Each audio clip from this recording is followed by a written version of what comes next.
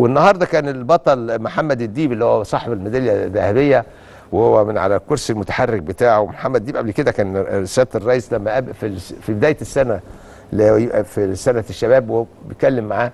فهو النهارده كان طلب من سياده الرئيس إن هم الجيش ياخد رتبة عسكرية يعني.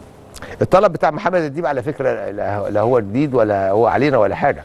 يعني إحنا من أيام آه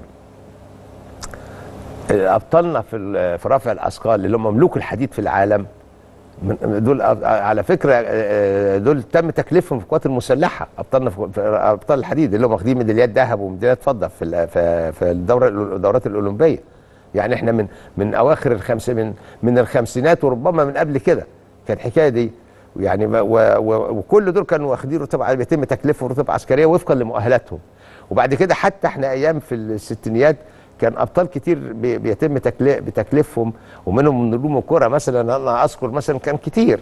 إنما أنا أذكر مثلا آه، ليوي اللي هو الكابتن آه، كمال درس اللي هو كان قلب دفاع مصر والنادي المصري. وأذكر كمان محمد شاهين نجم هداف آه، برضو ال- المصري والمنتخب والمنتخب مصر كان محمد شاهين. ومحمد بدوي بقى اللي كان الأستاذ المسكاوي رحمة الله عليه كان مسميه بدوي فتاكة. ده واحد من لاعبين الكرة اللي كانوا ممكن يلعبوا في أي حتة في العالم. في أي حتة كان محمد بدوي بيلعب. اللي كان في النادي المصري. ده كان مثلا كان مساعد لأنه كانش يعني كان مكلف برتبه مساعد. أنا بقى في الأبطال المعاقين والكلام ده يتبقى تكليفهم ده بطل.